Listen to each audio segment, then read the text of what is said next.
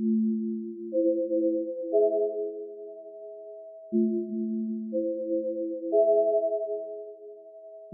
Within a prisoner of war camp in Japan, Colonel Lawrence attempts to find peace between the Japanese soldiers and his fellow British POWs, especially one Jack Celliers, a rebellious natured POW played by David Bowie. This is Merry Christmas, Mr. Lawrence. Despite the film's title of a festive implication, this is not a Christmas film. The film portrays a fascinating relationship between forces of authority and victims of such authority. Lawrence has a reputation with the Japanese soldiers in the POW camp. He is the man who can bridge the divide between the Japanese and the British within the camp, being competent in his Japanese enough to communicate the demands and concerns of the British to the Japanese. This allows Lawrence to be seen as an esteemed member of the camp. Even though he is still a prisoner, he is able to deliver clear and rational messages to the authority. He has a particular good rapport with Sergeant Hara, played by Takeshi Kitano. However, Lawrence is not immune to brutality. When Jack Celliers is introduced into the POW camp, in a weakened state. Lawrence goes to his aid, but is greeted by a Japanese soldier's beating, a reminder that Lawrence is still a prisoner first and foremost. Despite this violence towards the prisoners, there are scenes which depict more warmth. From an intimate scene where Lawrence and Hara at night watch over Jack, Jack waking momentarily to say Hara has a funny face but beautiful eyes, to a scene where a drunken Sergeant Hara on Christmas Day in good spirits says to Lawrence and Jack, after they have been released released from isolated holding, believed to be the culprits guilty of smuggling a radio into the camp, that he is Father Christmas, that he is Santa Claus bestowing a gift of release. Hara and Lawrence, despite hostilities at times, have a warmth unexpected of the setting of a POW camp. This rapport is preserved by the end of the film when Hara is a prisoner and Lawrence is the authority. The tables have turned, yet Lawrence still offers the same level of respect to his friend, stating he would let Hara go home back to his family family if he could, but he is unable to do so. Lawrence quite profoundly states that Hara is a victim of men who think themselves right, similar to how Hara thought himself right back in the POW camp. After Lawrence's claim that neither side is truly right, as he leaves the cell, Hara salutes Lawrence and wishes him a Merry Christmas. Although they may never meet again, the two have preserved their sense of respect and a warm fondness for each other, a bond, a friendship which transcends conflict. Jack's sense of rebellion is apparent through much of the film, as he appreciates how effortlessly he can antagonize his captors, especially Captain Yonoi. Tension underlies all of their scenes, but not necessarily the tension of true enemies. On Christmas Day within the camp as a gesture of rebellion, Jack kisses Yonoi which results in a punishment of being buried to his head until he dies. As a dead Jack remains in the ground, Yonoi salutes him. An earlier scene between Yonoi and Jack portrays the two